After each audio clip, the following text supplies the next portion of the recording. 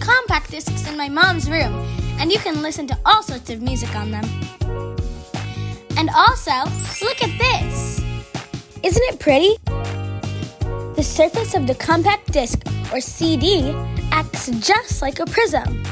But what is a prism, and how exactly does it make rainbows? Let's take a look at this light.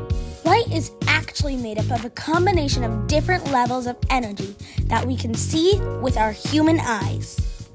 Energy travels through the air in long and short squiggly patterns called waves.